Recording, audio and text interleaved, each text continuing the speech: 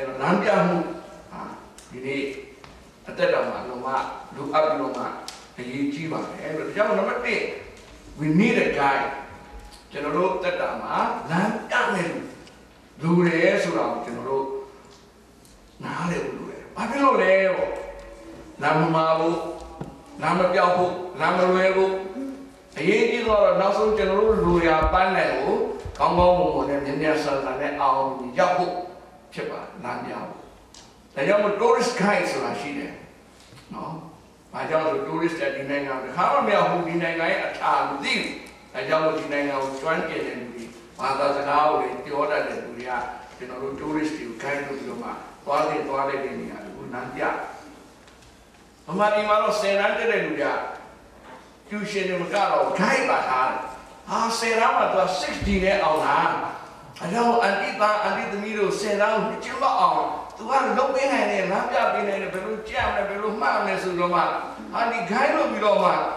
ကျောင်းတော်မတက်သေးဘူးတက်ကူတော်မတက်သေးဘဲနဲ့အလုပ်ဖြစ်နေတဲ့လူငယ်လေးတွေတော့တွေ့ဘူးလေပညာရေးမှာလည်း guide လုပ်ဖို့လိုတယ်ဒီနေ့ဘဝတက်တာမှာကျွန်တော်တို့လမ်းပြမယ်လို့ပြောပါတယ်စာလံခန်းကြီး14မှာအငယ်သုံးမှာလူအပေါင်းတို့ဒီတဲ့တဏီတညွတ်ထီလမ်းလွဲလို့ယောက်ျားကြီးတဲ့ နည်းနည်းလေးမဟုတ်ဘူးနော်အများတဏီတညွတ်ထဲပြောနေတာကဖျားသခင် guidance ကိုခံယူပြီးတော့မှအသက်ရှင်တဲ့လူနည်းလားများလားလို့ပြောရင်ကျွန်တော်ဖြစ်ရပါဟမ်နည်းလားများလားများတယ်ဘာကြောင့်လဲခရစ်တော်ရဲ့ပါမီခရစ်တော်ယုံကြည်ပါလေလို့ပြောတယ်ကျွန်တော်တို့ကိုယ်၌ကမှဘုရားခင်လမ်းပြမှုကိုမခံယူဘဲနဲ့အသက်ရှင်နေမှာတော့ကျန်တဲ့မယုံကြည်တဲ့လူတွေနဲ့ပေါင်းလိုက်တဲ့ခါကျတော့သူက majority ဖြစ်သွားတယ်လူအပေါင်းလို့ အဲ့တော့ဒီနေ့ဘုရားသခင်ကကျွန်တော်တို့ကိုနော်လမ်းလွဲပြီးတော့မှအသက်မရှိစေချင်ပါဘူးအဲကြောင့်ဒီနေ့ဘုရားသခင်ကကျွန်တော်တို့ကိုခရိယန်ဘာသာဟာတဲ့မှန်ကန်သောနာမှာရှောက်နှမ်းဖို့နော်ဘုရားသခင်ကအလိုတော်ရှိတယ်ဆိုတော့ကျွန်တော်တို့နားလည်လို့ပါတယ်အာဘယ်လမ်းကိုလိုက်ရမလဲပြီးတော့နော်အဲကြောင့်မှန်ကန်စွာအဲ့တော့ဘုရားသခင်ကလည်းကျမ်းစာထဲမှာပြညွန်နေတဲ့အဲ့တချို့ကပြညွ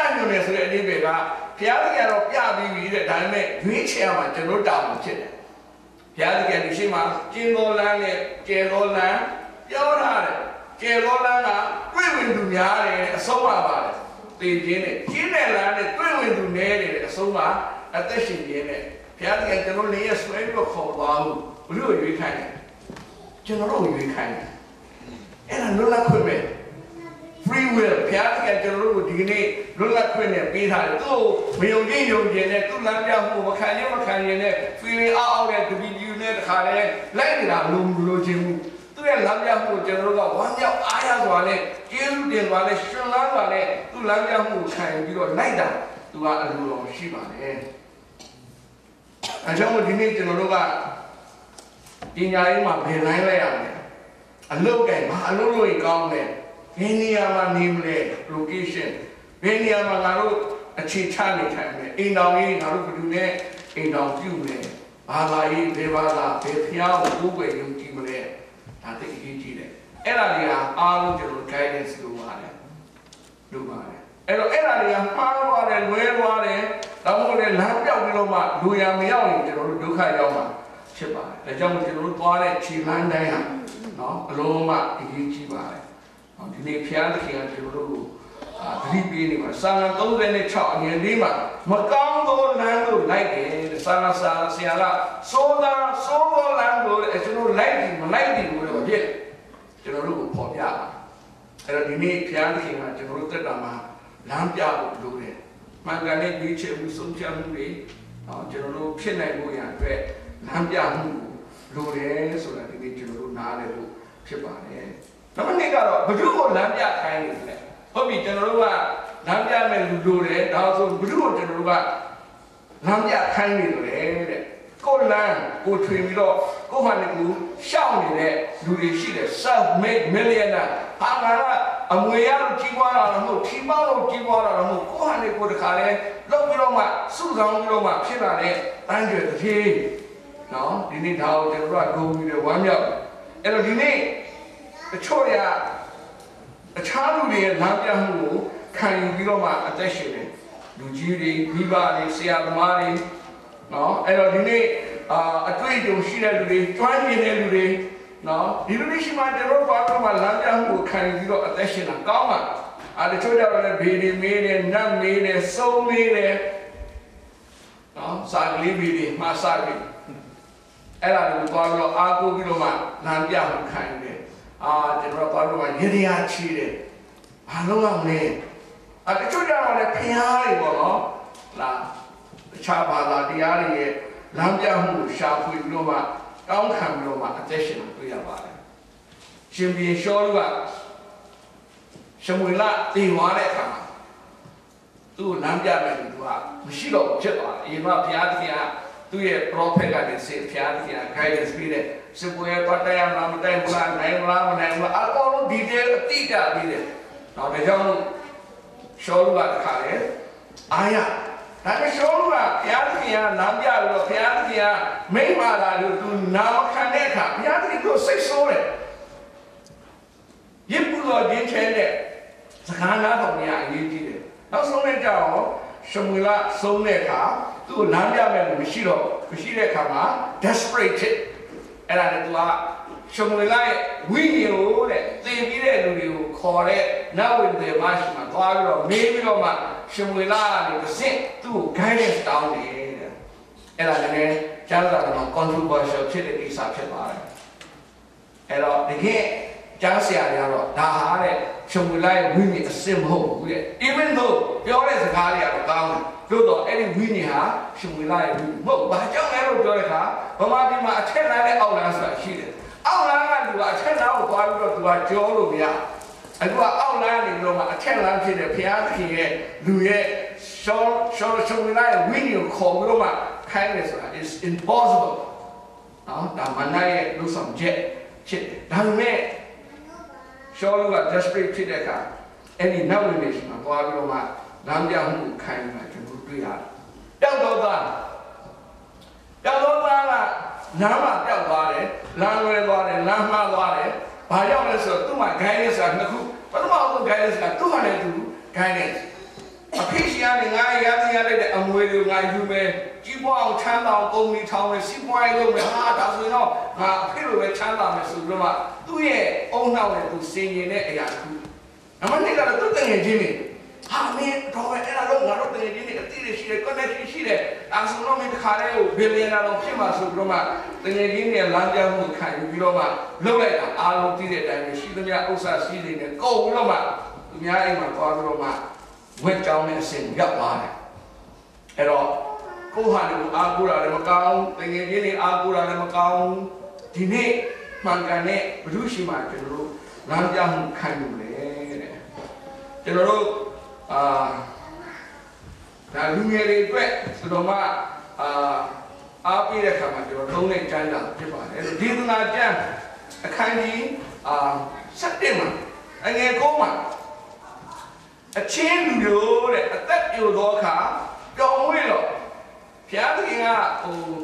ဘဝမှာတက်တန်းနေမျိုးမျိုးရှိတဲ့ခါမှာအပျော်ဆုံးအချိန်ကအဲ့ဒီလိုပဲကျွန်တော်သားอยู่ hang out လုပ်တာပျော်ပျော်တယ်နော်စိုင်းဒီဆိုင်ကဟလာအပြင်းမရှိသေးတဲ့ကလေးဘဝကိုပြန်လူချင်းတယ်ကြီးလာနေနဲ့အမြဟိုပြီးတော့မှစိတ်ညစ်စရာတွေပါလေရှိတယ်အဲ့တော့မင်းငယ်တဲ့အချိန်မှာပျော်ပါတဲ့ enjoy နော်အသ က်ကြိုစီကာလတွေနဲ့စိတ်ရှင်လန်းရှိတော့ပျော်ပျော်နေပါတဲ့ကိုယ်အလိုရှိရလမ်းကိုညာပြရလမ်းတို့လိုက်တော့တဲ့အဲ့မှာပြဿနာစဟာကျောင်းလာကျွန်တော်ဖိုင်တဲ့ကကျောင်းလာလည်းလူမိုက်အားပေးဖြစ်နေပါလားလူငယ်တွေသွားပြီးတော့မှကိုအလိုရှိရလမ်းကိုညာပြရလမ်းကသွားတော့လို့လွတ်လိုက်တော့သွားပြီနော်ကိုလူကျင်တဲ့လမ်းကိုလွတ်ချင်တာ နော်ကိုညာကပြရတယ်လမ်းဘုရားပြောက်တော့သားမှားအဲ့ဒါသူအလိုရှိတဲ့လမ်းနဲ့သူညာပြတဲ့လမ်းကိုသွားလိုက်တာအဲ့တော့ကျောင်းလာကအခွင့်အပေးရှိတယ်တို့ရတွေနဲ့နော်ကျမ်းစာထိုအမှုအလုံးစုံတို့ကိုလည်းဘုရားသခင်စစ်ကြော၍တင့်ကိုအပြစ်ဒဏ်ပေးတော်မူမည်ဟုအောက်မေ့တော်တဲ့ဘုရားသခင် okay enjoy your life မင်းအလိုရှိတဲ့လမ်းမင်းညာပြတာရှောက်သွားအေးမှားတော့တော့မင်းပါဖြစ်တယ် နာပြီတဲ့ငါပါလုပ်မယ် judge လုပ်မယ်တဲ့ punishment ဖြစ်မယ်တဲ့အဲ့တော့ကိုယ့်ဟာကိုသိ confidence မရှိဘူးပေါ့နော်ကိုယ့်ကိုစိတ်မချတဲ့အခါစစိတ်ချတော့မှာလေကျွန်တော်တို့ကလမ်းပြမယ်လူတဲ့ချင်းအတ္တအဲ့ဒါစိတ်ချဆုံးပဲအဲ့တော့ဒီနေ့ကြားလာကကိုအလိုရှိရလမ်းကိုနှစ်တရလမ်းကိုညာပြတဲ့လမ်းတော့ရှိတယ်ဒါပေမဲ့အဲ့ဒီလမ်းလေးကိုသွားတဲ့အခါ risk ရှိတယ်အဲ့တော့စိတ်ချတဲ့လမ်းကတော့ဘာလဲဆိုရှင်အဖျားခင်ပြတဲ့လမ်း ဖြစ်ပါလေအဲ့တော့ဒီမှာစာမတရားစနကိုအငယ်ကိုမှာလူယုံသည်တဲ့မိမိသွားရလမ်းကိုအဘယ်သို့တန့်ရှင်းစေနိုင်မည်နည်းဟုမူကားတဲ့ဘုရားသခင်နှုတ်ကပတ်တော်တိုင်းအသက်ရှင်ရမယ်တဲ့အဲ့တော့ကျွန်တော်သွားတဲ့လမ်းတန့်ရှင်းမှုဘုရားသခင်နှုတ်ကပတ်တော်လိုပါတယ်လို့နော်ဘုရား Proverbs 14အငယ်7မှာလူထင်သည့်တိုင်းနဲ့မှန်သောလက္ခဏာရှိတော်လေတဲ့အဆုံး၌တည်ခြင်းတို့ပို့တော်လမ်းတလမ်းရှိတယ်တဲ့ အဲ့တော့တောက်တန်ကြံခန်းကြီး7အငယ်28မှာဖြောင်းမတော်လမ်း၌တဲ့သေဘင်းရှိအဲ့တော့ဆန္ဒတင်မှာမတရားသောသူတို့ရဲ့သွားရလမ်းနဲ့ဖြောင်းမတော်သူတို့သွားရလမ်းဆိုတော့နှစ်ခုပြောတယ်မတရားသောသူတို့ရဲ့နားမှုကဘာဖြစ်လဲဆုံးရှုံးခြင်းတို့ရောက်ရလိမ့်သတည်းတဲ့ပြီးပါနော်အဲ့တော့ဖြောင်းမတဲ့လမ်းကသေဘင်းရှိအဲ့တော့လူထင်တဲ့အတိုင်းကိုယ့်ကကိုယ်တော့မှန်တယ်ဟုတ်တယ်ဟလားကောင်းနေတယ်ဘာမှအခက်အခဲမရှိဘူး နော်အဲ့တော့ကိုယ့်ကိုသွားနေတဲ့ခါမှာတဲ့ဒီနေ့ကျွန်တော်တို့မှန်တယ်ထင်ပေမဲ့အဆုံးမှာတဲ့တည်ခြင်းလို့ပြောတဲ့နာရှိတယ်ဆိုတာဒီနေ့ကျွန်တော်တို့နားလည်ဖို့ပါတယ်မဿဲ15နဲ့14မှာအကမ်းကိုလည်းအကမ်းကလမ်းပြတယ်လေခရစ်တော်သုံးတာနော်လူလူချင်းလမ်းပြခြင်းဟာအကမ်းကအကမ်းကိုလမ်းပြခြင်းဖြစ်တယ်။ညောင်စလုံးနဲ့ကြောက်သေးကြပြီးတော့သိနေတဲ့အတိတ်ကရှင်းနေတယ်ဘယ်လိုရှိအောင်မှလမ်းပြမှုကိုကျွန်တော်တို့ခံယူလို့မရဘူး။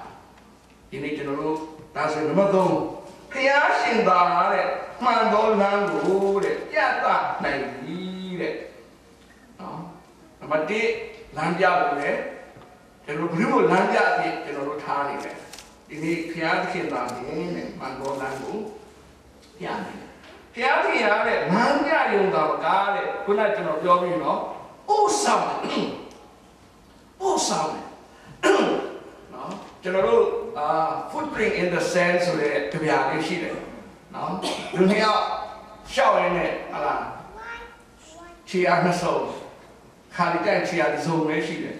ဒီခြေအားတစ်စုံပဲရှိတဲ့အချိန်အားလေးတကယ်ဘဝရဲ့ crisis ခက်ခဲတဲ့အချိန်အဲ့တော့ရေးတဲ့လူကဖခင်ငါ့ကိုအဲ့ဒီဒုက္ခကြီးကျယ်ရောက်တဲ့အချိန်မှာစွန့်ပစ်သွားတာလားဖခင်အဖြစ်မဟုတ်ဘူးတဲ့ခြေအားတစ်စုံပဲရှိတယ်အဲ့ဒီခြေအားငါခြေအားမင်းတို့ငါပွေးဖိုက်တာနော် နှစ်သိမ့်မှုပေးတယ်နော်အနေကင်းအောင်လုံခြုံအောင်ဘုရားသခင်ကကျွန်တော်တို့ကာကွယ်ထားတာအဲ့တော့ဘုရားသခင်ကပို့ဆောင်တဲ့ဘုရားဖြစ်တယ်လမ်းပြတဲ့ဘုရားဖြစ်တယ်အဲ့တော့ကျွန်တော်လမ်းပြတာလည်းမျိုးမျိုးခံရတယ်ဟာဟောဘယ်လိုသွားမလဲတဲ့မိဂရီတခါခရုစိတ်တစ်ခုမှကျွန်တော်ဒုက္ခရောက်သွားတယ်သူကခရုစိတ်လုပ်တဲ့နေရာကိုလေသူကနှဲ့လေသွားတယ်သွားရင်းနဲ့သူကလူငယ်လေးကြောက်ပြီးတာလေတားရင်တဲ့ဟိုစားတဲ့ဘုံဝင်သားပါလေတဲ့ ဆိုတော့ challenge ကအာခေါင်းကုတ်ပြီးတော့အဒီရေရောက်တော့စားတဲ့ဘုံဝင်မှာရှိမှတော့မသိဘူးပေါ့နော်အဲ့တော့ဒီကနေတော့ဟိုဘက်ကိုတိတဲတဲ့တော့အဲ့မှာစားတဲ့ဘုံရှိတယ်ဆိုပြီးတော့ပြောလိုက်တော့ဟာကျေးဇူးပဲတဲ့တကယ်တော့မသိလို့မဟုတ်ဘူးသူကသိတယ်နည်းနည်းမိခါရဖွဲ့တယ်လို့ဒါလေးတဲ့ဒီညာတဲ့ဘီလီဂရမ်ခရုစိတ်ရှိတယ်တဲ့နော်ဘီလီဂရမ်ဆိုဘယ်လိုလဲသိလားတဲ့ဦးရဲ့တဲ့ဟာချီလို့မှဒီညာတဲ့ဦးကမင်းဟိုတဲ့ ကောင်းနေမုံရောက်ရလမ်းကိုပြောပါတဲ့ခလေးလေးကကြည့်ပြီးတော့ကျွန်တော်မယုံဘူးတဲ့ဘာဖြစ်လို့လဲခင်ဗျာစားတဲ့ဘုံပဲမရှိမှတော့မသိတဲ့လူပါတဲ့ဘယ်လိုလုပ်ကောင်းပြီးမုံရှိတဲ့လောက်ပြနိုင်ပါလဲဆိုပြီးတော့သူ့ကိုပြန်ပြောတယ်တဲ့အဲ့ဒါဒီပြေမှာသူ့ရဲ့မှတ်တမ်းမှာသူကရေးထားတယ်ကျွန်တော်တို့ညှို့လိုက်ရှင်းတယ်သွားဘယ်ဘက်ကိုပြန်လို့တဲ့သွားအဲ့မှာတွေ့နေမယ်အဲ့ဒါအဲ့လိုပြောလိုက်တာလေကျွန်တော်တို့ရှုပ်သွားတယ်ကျွန်တော်သွားရင်လည်းကျွန်တော်ဘက်လုံးတည်သွားတယ် အကောင်းဆုံးတော့ကျွန်တော်တို့ခေါ်ပြီးတော့ကိုယ်တိုင်လိုက်ပို့တာစိတ်အချဆုံးပဲဖျားသခင်ကအဲ့ဒီလိုလမ်းပြမှုဖြစ်ပါတယ်အဲ့တော့ဒီနေ့ကြားလာကျွန်တော်တို့ကပြောထားလိုက်ဆိုရင်တဲ့ I am the way ခရစ်တော်ငါလမ်းကြီးဖြစ်တယ်ကျွန်တော်မကြာခဏပြောရအောင်ခေါ်ရမှာအမဲလိုက်ရင်လည်းလမ်းပြသွားတယ်ဒီပြောက်ကအဆုံးမပြန်တတ်တော့မှောင်းလာဒီဒီနဲ့အဲ့ချိန်မှာချင်းခွေလာတဲ့ကြောင်းနဲ့တွေ့တယ်အဲ့တော့သူကပြင်တော့ဘာဖြစ်ကျွန်တော်လမ်းပြောက်သွားလို့ ကျွန်တော်ဖေးတော်ကိုပြန်နေတယ်အဲ့ကျွန်တော်လမ်းညွှန်လိုက်ပါတော်ထဲမှာကိုလမ်းညွှန်လို့မရအခုမှလမ်းရှိသေးတာဒီကနေ idiot street ကိုသွားပြီးဘာလို့ညာလို့ပြောလို့ရဟိုဘက်တော်ထဲမှာလမ်းရှိအောင်ချုံနေရွယ်အဲ့တော့ဒါဆိုရင်ကျွန်တော်တော့လိုက်ခဲ့တယ်ဟိုသူကခေါ်ပါတယ်အဲ့တော့ဘလို့ကနေတယ်လမ်းဟိုအမေလိုက်တယ်ခင်ဗျာလမ်းသိလို့ပါတဲ့ကျွန်တော်ကလမ်းနေတဲ့ I am the way ကျွန်တော်နောက်လိုက်ခင်ဗျားလူကြီးနေပါရောက်ဒါပဲ that's it အဲ့တော့ဘုရားသခင်ခရစ်တော် I am the way လို့ပြောတာအဲ့ဒါလမ်းသိတာမဟုတ်နော်အာတချို့ဘာသာတရားတွေကဟာလာအာငါတို့ကလမ်းကိုတွေ့ပြီလို့ပြောတာနော် we found the way I found the way အာတမန်တရားလားကိုတွေ့ပြီသစ္စာတရားလားကိုတွေ့မဟုတ်ဘူးကျွန်တော်ကိုယ်ရဲ့ဘုရား I am the way နော်နောက်အမြင်တွေ့ဘယ်သူမှခမီးတော်ထံလို့မရဘူးအဲ့တော့ဘုရားသခင် လမ်းသိတဲ့လူမဟုတ်ဘူးလမ်းပြတဲ့လူမဟုတ်ဘူးသူကသူ့ကိုယ်နဲ့ကလမ်းခီးဖြစ်တယ်ဒါကြောင့်ခရစ်တော်ရဲ့နောက်တော်လိုက်တပည့်တော်တွေလို့ကျွန်တော်တို့ကျွန်တော်တို့ခေါ်တယ် we are the followers of Christ အဲ့တော့လမ်းမင်းဘောတော်လို့တော့ဘယ်လိုနောက်လိုက်သွားဖို့ပဲလို့လဲဒီပြည့်စနစ်အငယ်နှစ်ပါပါတယ်နော်ယုံကြည်ခြင်းကိုအစာအုပ်စီပြီးစုံလင်စေတော်မူသောသခင်ယေရှုမှာဖြစ်စိတ်စိတ်ကြည့်ပြီးတော့ကျွန်တော်အသက်ရှင်ဘာမှလမ်းမရလမ်းပြောင်းစရာမရှိဘူး။အဲဒါကြောင့်ဒီနေ့ဖျားသခင်က လမ်းပြတယ်ဘာကြောင့်လဲသူကိုယ်၌ကလမ်းကြီးဖြစ်ပါတယ်။အဲ့တော့သူလမ်းကြီးဖြစ်တယ်လို့ပြောတဲ့ခါမှာတဲ့ခရစ်တော်အဖြစ်ဖျားသခင်ထံကိုရောက်တယ်။ခရစ်တော်အဖြစ် heaven ကိုရောက်တယ်။ခရစ်တော်အဖြစ်ဘဝအောင်မြင်မှုပန်းနိုင်ကိုရောက်တယ်။အဖြစ်ချင်တယ်ဖြစ်ချင်တာလို့ဖျားသခင်ကျွန်တော်တို့လမ်းပြတယ်။ပြီးရင်တဲ့ဒီမှာအာ ခရစ်တော်ကိုကျွန်တော်တို့ကလမ်းခီးခရစ်တော်ကိုကျွန်တော်တို့ရဲ့လမ်းပြဖြစ်ထားလိုက်တဲ့အခါမှာတဲ့ကျွန်တော်တို့ဒါဘယ်လိုမှထူးခြားတဲ့အသက်တာဖြစ်ပါဒုတိယတော့မှာပါလို့ခရစ်တော်ငါသည်တိုးရင်းဖြစ်တယ်ကောင်းတဲ့တိုးရင်းဖြစ်တယ်တိုးရင်းရဲ့တာဝန်ကကာယတော်မြင့်တဲ့စေနာတော်ကျက်စားရအရာကိုအမြဲတမ်းတိုးရခေါ်ဆောင်ပါဘာတော့လည်းမှာတိုးရင်းနဲ့ consultation လုပ်တာပေါ့နော်အေးဒီနေ့ဘယ်သွားရင်ကောင်းလဲပါ တိုးတွေကိုမင်းစရာမလိုတိုးတွေရဲ့သဘောထားကိုတောင်းကြရမလို့တိုးတွေရဲ့သွားတဲ့နေရာကိုမင်းစရာမလိုအဒီကလေးတွေကိုမေးလိုက်တော့ပဲတော့မိုက်တော့လာသူကဒါပဲလို့ကျင်တယ်နော်ဖျားကကျွန်တော်တို့နဲ့ဆက်ဆံတဲ့အခါမှာကျွန်တော်တို့ကသူဥဆောင်တဲ့နောက်ကိုယုံကြည်ကြည်နဲ့လိုက်ကောင်းလို့ပဲလုပ်တယ်ခုနခရစ်တော်နောက်တော့လိုက်ခရစ်တော်နောက်ကိုလိုက်လို့တိုးထင်းကလည်းအနောက်ကနေစိတ်ကြောင်းနဲ့တိုးထင်းနဲ့ဘူးစိတ်တော့နွားကအနောက်ကနေမောင်းလာ နော်ဖျားခင်ကတိုးထင်းကရှေ့ကနေဥဆောင်ပြီးတော့သွားတဲ့ဖျားဖြစ်ပါတယ်လို့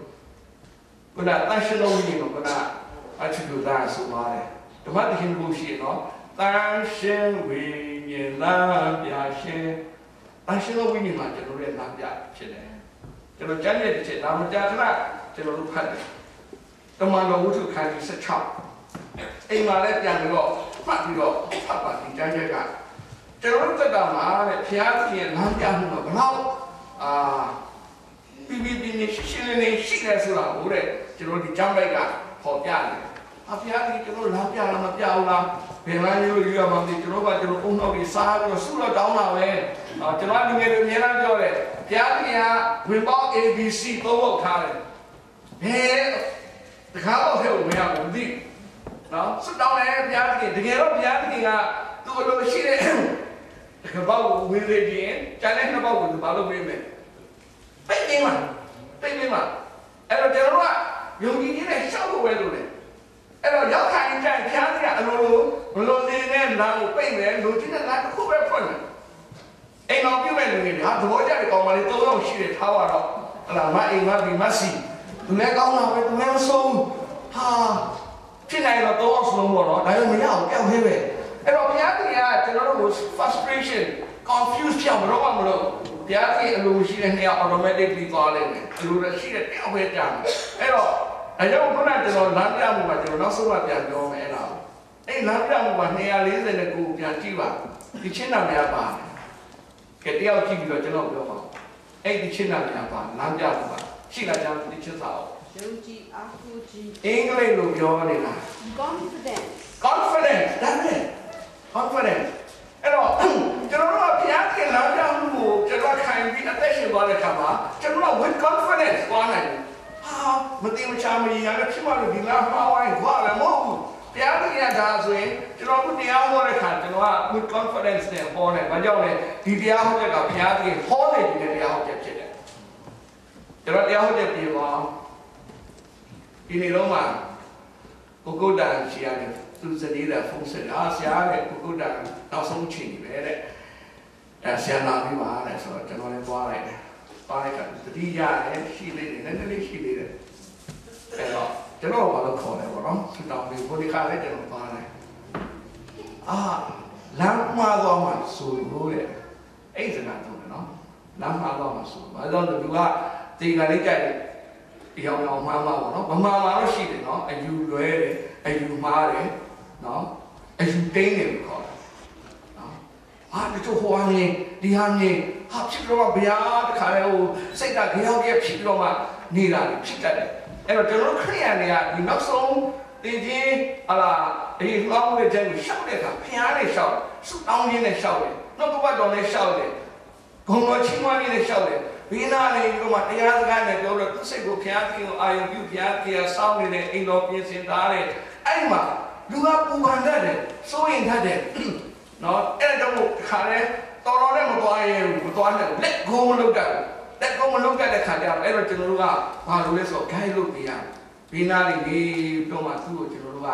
ဒီဖျားတကယ်လို့ရှိတဲ့အိမ်တော်လမ်းကိုကျွန်တော်တို့ကပြပြီးတော့မှသွားဒါအသက်ရှင်နေလို့တတိရှိလို့ကိုမဝင်သွားတဲ့လူတွေဘယ်လိုလုပ်လဲကိုမဝင်သွားမဲ့လူကလမ်းပြတယ်ဖျားတကယ်ပဲဖျားတကယ်ပဲ အဲ့တော့ဒီနေ့ဖျားတကယ်ကလမ်းပြခြင်းဆိုတော့အရေးကြီးတယ်နောက်ဆုံးသင်္ကန်းလေးတော့နော်ဖျားခင်ရဲ့လမ်းပြမှုကိုကျွန်တော်တို့ကခံယူပြီးတော့မှအသက်ရှင်ဖို့ဒါအလိုရှိပါတယ်အဲ့တော့ဖျားခင်လမ်းပြမှုကိုခံယူတဲ့တော့ with confidence စိတ်ချမှုရှိတယ်ဖျားခင်လမ်းပြမှုကိုလည်းကိုယ့်ဟာကိုယ်ရွေးပြီးတော့မှကိုယ့်ဟာကိုယ်ကောင်းတဲ့ထင်တာကိုသွားတဲ့လူကတော့တဲ့စိုးရိမ်ပူပန်မှုနဲ့ရှိတယ်ဆိုတာဒီနေ့နားလည်ဖို့ဒါကြောင့် national win မှာကျွန်တော်တို့ဘာလုပ်လဲဆိုတော့လမ်းပြတယ်တဲ့စာစစ်ချ အငယ်စက်တင်မှာနော်ဒီကျမ်းချက်ကကျွန်တော်တို့အာကျွန်တော်ခုနစင်ကြီးမှုပြောကောင်းတဲ့အချိန်မှာပါလေးတိုင်းတဲ့အချက်ဖြစ်ပါလေ။ဒါကစက်တင်မှာအသက်ရှင်ခြင်းလမ်းကိုတဲ့ပြညွန်တော်မူလိမ့်မည်တဲ့နော်ခုနဘုရားသခင်ကျွန်တော်တို့ကိုပြတယ်ဒါပေမဲ့လိုက်လိုက်ရွေးမှာကျွန်တော်တို့ရွေးရမှာနော်ဘုရားသခင်ကျွန်တော်တို့မလိုက်ချင်လိုက်ချင်တဲ့ feeling အောက်အောက်နဲ့သူ့နောက်ကိုလိုက်တာမလို့ချင်ဘူးသူ့နောက်ကိုကျွန်တော်တို့ကဝမ်းသာအားရစွာနဲ့ရှင်လန်းစွာနဲ့ လိုက်ဖို့လိုချင်ပါတယ် Deuteronomy 30:19မှာကျွန်တော်တို့ရှင်မာတဲ့အသက်ရှင်ခြင်းနဲ့တည်ခြင်းနဲ့ကောင်းကြီးမြင်လာတဲ့ကျင့်ရင်းအမင်လာကိုထားတယ်ကျွန်တော်ရှင်းနိုင်ထားတယ်အတိတ်ကပါ the choice is yours ခင်ဗျားတို့ကျွန်တော်တို့ကြည့်ရအောင်နော်ဒီနေ့ဖျားသခင်ကကျွန်တော်တို့ကိုလမ်းပြတဲ့ခါမှာဒီနေ့ကျွန်တော်တို့ရဲ့ရွေးချယ်မှုနဲ့အလုံးမအရေးကြီးတယ်ဆိုတာဒီနေ့ကျွန်တော်တို့နားလည်ဖို့လိုပါတယ်ခုနကကျွန်တော်တို့အဓိကအခြေပြုတဲ့ကျမ်းစာကိုကျွန်တော်တို့ဖတ်ပါမယ် သာလန်20နဲ့ငါဒါက main ကျွန်တော်တို့အခြေပြုတဲ့ကျမ်းပိုက်ဖြစ်ပါတယ်ဒါကိုလည်းမှတ်ထားလို့အိမ်မှာဖတ်ပါတော့နော်နံပါတ်၄မှာအိုးထောင်ရဖျားကိုရောအိနန်းတို့ကိုအကျွန်ုပ်အားပြနှံပြီးခရီးတော်တို့ကိုသွန်သင်တော်မူပါတယ်အဲ့တော့ခရိယာရဲ့လမ်းဟာဘုရုရဲ့လမ်းလေဖျားရဲ့လမ်းဖျားအလိုတော်ရှိတဲ့လမ်းဖျားပွားစီခြင်းတဲ့လမ်းဒီနေ့ကျွန်တော်တို့ကခရိယာလို့ပြောတယ်ကိုလမ်းလျှောက်ခြင်းတဲ့လမ်းကိုလျှောက် အဲ့ဒါကျွန်တော်တို့ရဲ့ပြတာအဲ့တော့ဘုရားသခင်ပြတဲ့လမ်းကိုဝင်လေကိုရှောက်ရှင်တဲ့လမ်းကိုရှောက်တဲ့အတွက်ကျွန်တော်တို့နဲ့ဘုရားနဲ့မဖြစ်သွားဘူး။ဥစားပွဲသွားပြီ။အဲ့ဒါတွေကလွဲသွားပြီ။မှားသွားပြီဒုက္ခရောက်ပြီလမ်းပြောက်ပြီ။အဲ့တော့ကျွန်တော်တို့ကစာရဆရာကကိုတော်ဤလမ်းကိုတဲ့ကျွန်တော်တို့ကိုပြတာတဲ့။ခရီးတော်တို့ကိုသုံးသင်တော်မူပါတဲ့။ကိုတော်ဤတမန်တရားကိုပြ၍နော်အကျွန်တော်တို့ကိုသုံးသင်တော်မူပါ။ အကြောင်းကတဲ့ကိုတော်ဒီကျွန်တော်တို့ကိုကယ်တင်တော်မူသောဖခင်ဖြစ်တယ်အငယ်ကုန်းမှာနှိမ့်ချနဲ့အာအပြစ်ရှိသောသူတို့ကိုလမ်းပြတော်မူ၏တဲ့နော်ဘုရားသခင်ကကျွန်တော်တို့အပြစ်ရှိတယ်တို့တော့ဘုရားသခင်အပြစ်ရှိတဲ့လူတွေလမ်းပြတယ်နှိမ့်ချနဲ့ရှိသောသူတို့ကိုတရားလမ်း၌သွေးဆောင်တော်မူ၏တဲ့နှိမ့်ချတဲ့လူတွေကိုတဲ့ဘုရားသခင်ကသွေးဆောင်ပြီးတော့နှိမ့်ချနဲ့ရှိသောသူတို့အားခရီးတော်တို့ကိုသုံးသင်တော်မူ၏တဲ့နောက်တစ်ခုကတော့ဘယ်မှာလဲဆိုလို့ရှိရင် အငယ်စနစ်မှာဗာရေးထားလဲဆိုရင်အကျဉ်သူသည်တဲ့ထာဝရဘုရားကိုကြောက်ရွံ့ကြ၏ထိုသူအားတက်ဖွယ်တော်လမ်းကိုပြခြင်း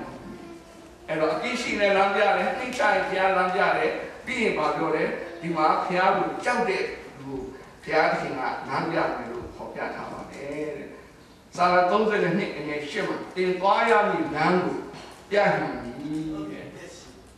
အဲ့ဒီနေ့ချက်တော်ကြီးကိုမှာပါလို့နံပါတ်3နံပါတ်1ကလမ်းပြလို့လေဘုရုရှိမှလမ်းပြမှုကိုခံယူတယ်ဘုရားသခင်သားနဲ့ကျွန်တော်တို့ကိုစစ်မှန်တဲ့လမ်းကိုပြနိုင်တယ်ဆိုတော့ကျွန်တော်တို့နားလေပြီးတော့နောက်ဆုံးနံပါတ်4ကတော့ပါလဲဆိုရင်တဲ့ဘုရားရှိခိုးလမ်းပြမှုကိုခံယူ၍အသက်ရှင်ပါတဲ့သုတ်တန်ကြခန်းကြီး3ငယ်9နဲ့6မှာဥညာကိုအမိမပြုနဲ့သွားလေရာ၌ခေါရဖျားကိုမျက်မှောက် ပြီးတော့အတိုးပြုနေဒီလမ်းရှိလို့ဘာဖြစ်လဲတဲ့ရင်တော့မသိဘူးဒီနေ့သုတ်တန်ကြတကယ်16ငယ်9မှာလူသားတဲ့စိတ်နဲ့ကိုသွားမဲ့လမ်းကိုကြံစီတယ်တဲ့ဒါပေမဲ့ဖျားကကျွန်တော်တို့ရဲ့ခြေရာတွေကိုစီရင်တယ်အဲ့တော့ဒီနေ့ဖျားသခင်ကသူလမ်းပြနိုင်တယ်အဲကြောင့်မို့ဖျားသခင်လမ်းပြမှုကိုခံယူပြီးတော့မှအသက်ရှင်ဖို့လုပ်ပါတယ် ကျွန်တော်ဒီမနေ့၄နိုင်လောက်မှာအရင်တော့ဒီတရားဟောတဲ့ကောင်းနဲ့စဉ်းစားရင်ကျွန်တော်အိမ်မှာကျွန်တော်ငယ်ငယ်တော့ခေါင်းရင်းမှာကတ်တဲ့ပုံလေးတစ်ပုံပါတတိယ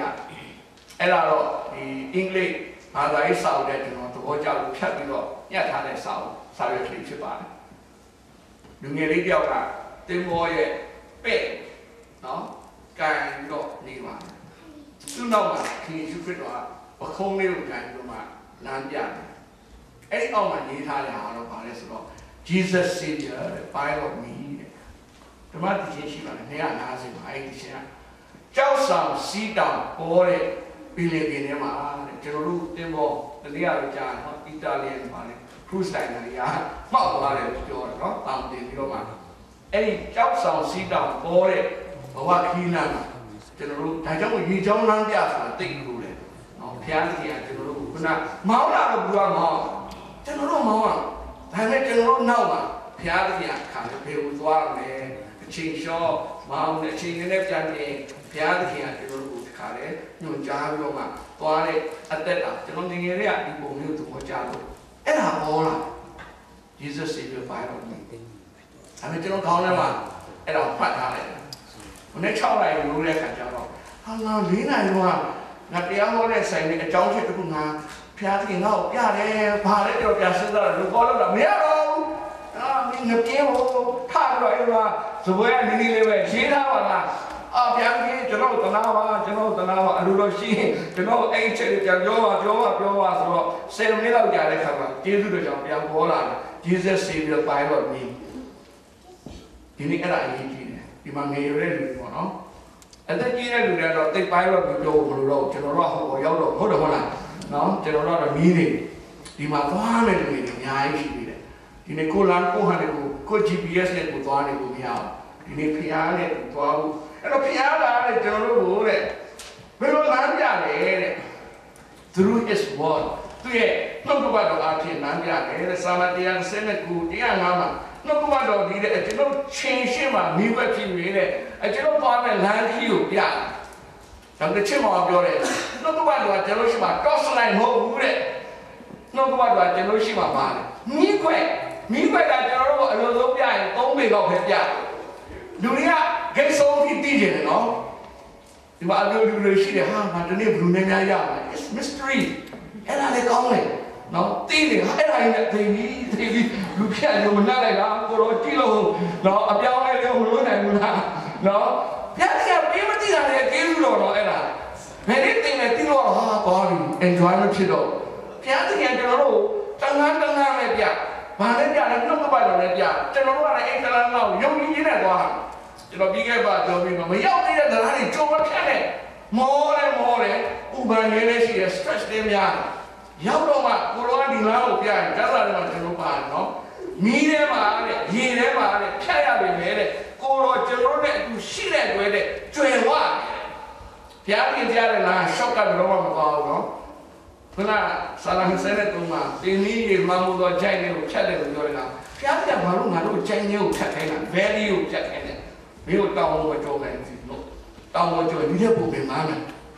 ဘဝမှာတခါလေပိုင်ငောင်းနေပြီဘဝမှောင်မိုက်တော့မှအနာဂတ်ကဘာဖြစ်လို့ဖြစ်မှာမမဆနိုင်တဲ့အချိန်ခါလေးရှိတယ်ဒါပေမဲ့မှောင်မိုက်အဆုံးမှာတာလို့ဆုံးလို့ရှိရင်အနေအောင်ရှိတယ်ဘဝရဲ့မှောင်မိုက်တဲ့အချိန်ကြီးရှိတယ်ယောသကအသက်16နှစ်ကနေအသက်30 73နှစ်ဘဝရဲ့မှောင်မိုက်တဲ့အချိန်ကိုဖြတ်သန်းတယ်။သူမသိဘူးဟာဘုရားသခင်ဘယ်လိုလဲကိုတော့ကျွန်တော်ယုံနေကြောက်နေချစ်တယ်။ ဒါပေမဲ့ဒီနေ့ကျတော့ဝါဆိုနောက်ဆုံးဖာရောပြင်ပြီးဒုတိယဒီနေ့လူငယ်တွေနော်ဒါအရေးကြီးတယ်အဲ့တော့ဘုရားသခင်လမ်းပြနေရေလည်းပဲရှော့ရှော့မီးလည်းပဲရှော့ရှော့အမှောင်လည်းပဲရှော့ရှော့ it doesn't matter ဘာမှတော့ပြဿနာမဟုတ်ဘုရားသခင်ပါတယ်အတွက်အဆုံးမအောင်မြင်ခြင်းရှိတယ်အဲ့တော့ဒီနေ့ဘုရားသခင်ကနှုတ်ကပတ်တော်နဲ့လမ်းပြတယ်တန်ရှင်းသောဝိညာဉ်တော်နဲ့လမ်းပြတယ်ခုနတမန်တော်ဘုဒ္ဓခန္ဒီ16အငယ်6နဲ့8မှာပေါလုဟာတဲ့ ငါဒီမျိုးသွားမယ်လို့ပြောတယ်တဲ့ဝိညာဉ်တော်ငါ့ကိုခွင့်မပေးဘူးတဲ့ဟိုမျိုးသွားမယ်ပြောတယ်ဝိညာဉ်တော်ငါ့ကိုမြစ်တာတယ်တဲ့စကလုံးနှလုံးတော့အခွင့်မပေးဘူးမြစ်တာတယ်အဲ့ဒါနဲ့သူတရောမျိုးပြန်နှိပ်ပြီးတော့မှသွားတယ်နောက်ဆုံးဘုရားသခင်သူသွားသိနေတာမာကီဒိုနီကိုသွားသိတယ်လက်ရှိလိုဝိညာဉ်တော်ဘလော့လုပ်တယ်အဲ့တော့ဒီနေ့ဘုရားသခင်ကျွန်တော်တို့တက်တော်မှာဝိညာဉ်တော်အဖြစ်ဘလော့လုပ်လာမလုပ်ဘူးနော် မလုပ်ရင်အဲ့ဒါအန္တရာယ်ရှိတယ်။အော်လာဘယ်ဘလော့ဘုရားသခင်နဲ့နိကတယ်ဆိုရှင်ဘုရားသခင်ရဲ့တန်ရှင်တော်ဝိညာဉ်တော်တို့ဓာတ်ရဲဆိုတာတိတိကျကျသိတယ်။ဒါကြောင့်မို့ကျွန်တော်တို့ကဟိုကျွန်တော်ကပပဒီမှာဖွဲ့ကြမှာလို့လို့တော့ကျွန်တော်တို့က EC တိုင်းစီဝေးမှာတင်ပြတင်ပြတဲ့အခါမှာကျွန်တော်တို့တွေခီးထွက်ချင်တယ်ဘာရှိတာပေါ့နော်ရှိတဲ့အခါမှာစကလုံးနှလုံးပေါ်လာအခုကပါလေတိတာယံတင်ပြခြင်းအကြောင်းကြားခြင်းနဲ့ခွင့်ပြုရဲ့တောင်းခံခြင်းဆိုတာဒီမတူဘူး for information နဲ့ for approval ဆိုတာမတူဘူးအဲ့တော့ကျွန်တော်တို့ကအာအခုတော့ဘွဲမှာကျွန်တော်တိတာယံတင်ပြတယ်ဆိုတော့အခုတော့ဘွဲအော်အဲ့လိုလားအေးပေါ်လေဘီဘီအဲ့ဒါဆုံးဖြတ်ချက်လို့လေဆိုတော့ဘယ်သူက decide လုပ်လဲ EC က decide လုပ်မှာအဲ့တော့ဖျားသခင်နဲ့ပတ်သက်တဲ့ကိုရောကိုရောတိတာယံတင်ပြတာပါကျွန်တော် plan ရတော့အဲ့ဒါပဲကျွန်တော်သွားရင်တော့အဲ့ဒီခီးပဲကိုရောကျွန်တော်လည်းဒီလိုက်ခဲ့ပါကျွန်တော် bless လုပ်ပါဒီနေ့တော်တော်များများအဲ့ဒီပုံစံနဲ့သွားတယ်မဟုတ်ဘူးအဲ့ဒါ ဘုရားသခင်ကငါမင်းအတွက်အကောင်းဆုံးအကြံစီရှိတယ်ဒီငါရဲ့အကြံစီကိုလက်ခံပြီးတော့မှငါရဲ့ဥဆောင်မှုတော့ကိုဒီလိုက်အောင် it will be the best for you ကျွန်တော်တို့အတွက်အကောင်းဆုံးဖြစ်ပါတယ်ဒါပေမဲ့ကျွန်တော်တို့ကဘုရားသခင်အကြံစီတဲ့ဒီတဲ့ကောင်းတဲ့အကြံရှိတယ်လို့ထင်တာပါနောက်တစ်ခါတော့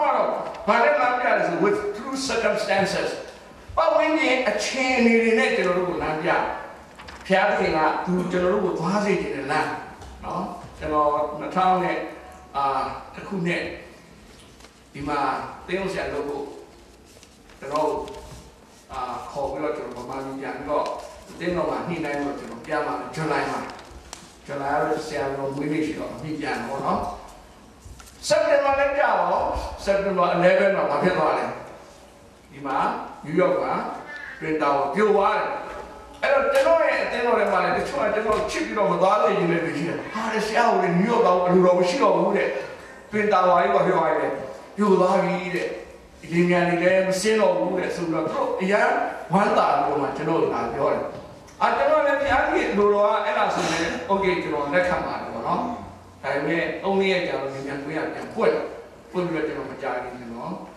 ရောက်လာတယ်ရောက်လာတယ်အဲ့တော့ဖျားကြီးကအလိုတော်မရှိရင်ပြိတ်တယ်အ လိုတော်ရှိရင်ဖွင့်တယ်အဲ့တော့ဒါကိုလည်းကျွန်တော်နားလေဒီမှာပတ်ဝန်းကျင်အခြေအနေနဲ့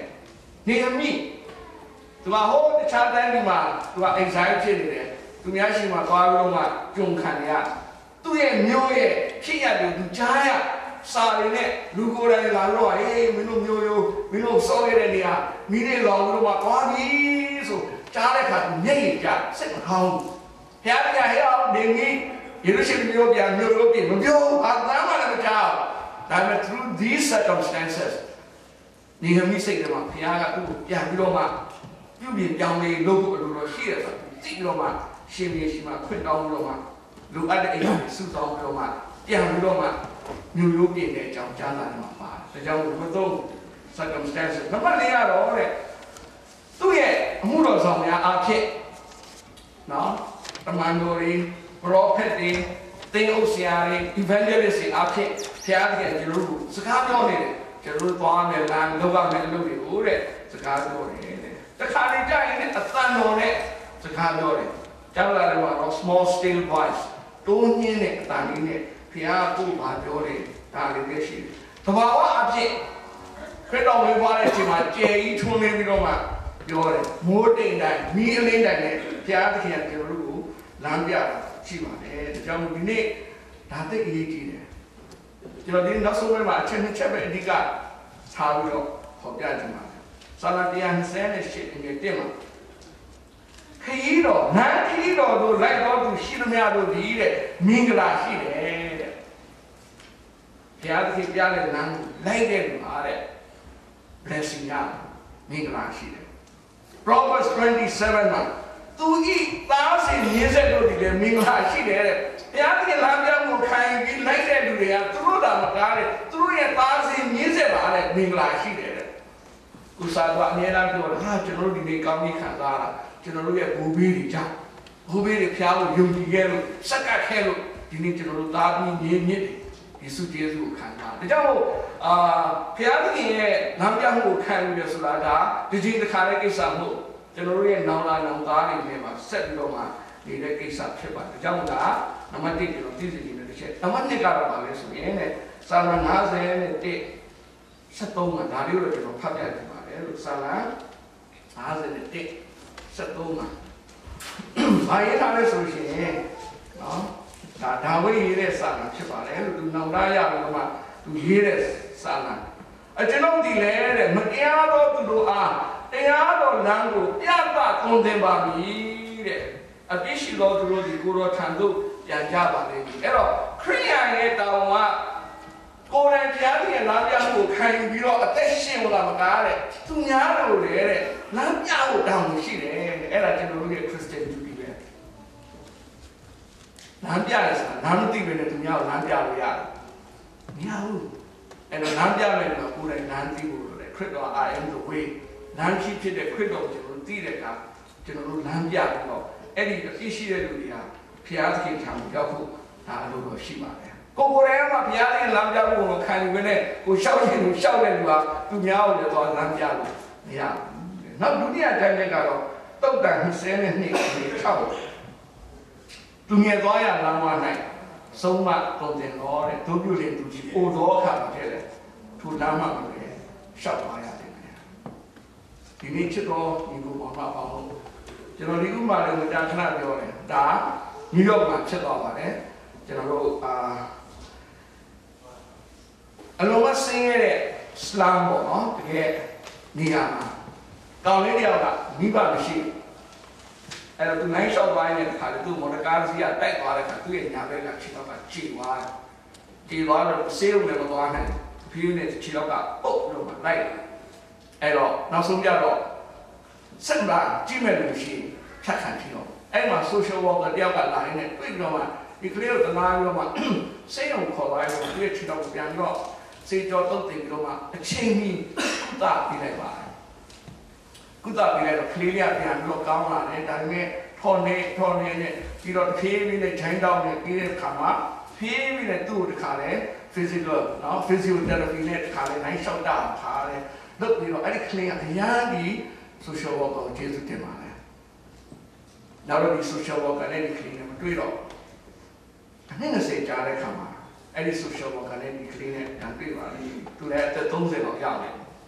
တွေ့တဲ့နေရာတွေမှာဆိုတရားရုံးထဲမှာဖြစ်ပါတယ်ဒီကလေးကလူသားမှုနဲ့တရားရုံးထဲမှာတရားရင်ဆိုင်နေရတယ်အဲ့ social worker ကမစင်မကောင်းဘူး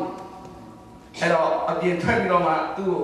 သတင်းတောက်တဲ့အင်တာဗျူးလုပ်တဲ့အခါဒီကလေးကလည်းလူငယ်တဲ့အနှစ်ပေါင်း20ကကျွန်မလမ်းဘေးမှာခြေတော့ဖြတ်ခံနေအခြေမှာတွေ့ပြီးတော့မှကျွန်မသူ့ကိုခြေတော့ပြန်ကောင်းလာလမ်းလျှောက်တာသူများလေးကိုပြေလွာဆော့ကစားသွားတယ်ကျွန်မပြုလုပ်ပေးခဲ့ပါတယ်ကျွန်မဒီနေ့တရားရုံးမှာသူ့ကိုပြန်ပြီးအရန်ကျွန်မနောင်တရကြည်ကွယ်ဝမ်းနေတယ်နောက်ကျွန်မကိုကျွန်မလည်းအားရကျွန်မအပြစ်ဖြစ်တယ်လို့ကျွန်မခံနေတယ်အဲ့ဒါလည်းတော့ပြန်ဘာဖြစ်လို့လဲကျွန်တော်တို့ ကိုကြီးမားစားလည်းပြီးပြီပဲမဟုတ်ဘူးတဲ့ကျွန်မကသူ့လမ်းလျှောက်တတ်အောင်လည်းတင်ပေးတယ်တဲ့ဘယ်လမ်းကိုရှောက်လဲဆိုတာကျွန်မမပြခဲ့ဘူးတဲ့ဒါကြောင့်သူလမ်းတော့လျှောက်တယ်ဘယ်ကိုသွားလိုက်လမ်းမောက်သွားလိုက်ပဲဒုက္ခရောက်ပါတယ်ကျွန်တော်ဒီကောင်တော့ဘာလို့လမ်းလျှောက်တတ်အောင်လည်းမပြီးသေးဘူးလမ်းမှတည်ုံလည်းမပြီးသေးဘူးဒီနေ့ဖျားသခင်ကကျွန်တော်တို့ကိုသူ့ရဲ့ဥဆောင်မှုကိုနာခံပြီးတော့မှကျွန်တော်တို့လိုက်ဖို့ အလိုတော်ရှိတယ်ဆိုတာဒီနေ့နားလည်ပြီးတော့မှခုနလမ်းပြမှုကဆိုတဲ့ဓမ္မတိချင်းရဲ့အင်္ဂလိပ်ကောင်းစရာပါတယ် confidence ဘုရားသခင်လမ်းပြမှုကိုခံယူရရှိတဲ့သူက with confidence နော်ဒီနေ့ကျွန်တော်တို့ယုံကြည်စိတ်ချစွာနဲ့ငါတော်တဲ့ဘုရားသခင်ဥဆောင်တဲ့လမ်းမှာအခက်အခဲတွေ့ရင်လည်း it doesn't matter ဘုရားသခင်ကျွန်တော်တို့ရဲ့သူရှိတဲ့အတွက်ဖြည့်ရှင်းပြီးကြော်လွန်နိုင်တယ်အောင်မြင်နိုင်တယ်နော်ဘုရားသခင်မပါရင်တော့ အစဉ်ပြေတဲ့လမ်းခီးတွေကျွန်တော်တို့အတွက်အန္တရာယ်ရှိပါတယ်လို့ဒါကြောင့်ဒီနေ့ဘုရားသခင်လမ်းပြမှုကိုကျွန်တော်တို့လူယုံကြည်ကြည်နဲ့ခံယူပြီးတော့မှလမ်းပြမှုပါခြေလမ်းမမှားစိန်ကဒီနေ့ကျွန်တော်ပါဝင်ဘုရားသခင်လမ်းပြမှုကိုခံယူပြီးတော့မှအသက်ရှင်ဖို့အားပေးပါတယ်လို့အားလုံးဘုရားသခင်ကောင်းပေးပါစေ။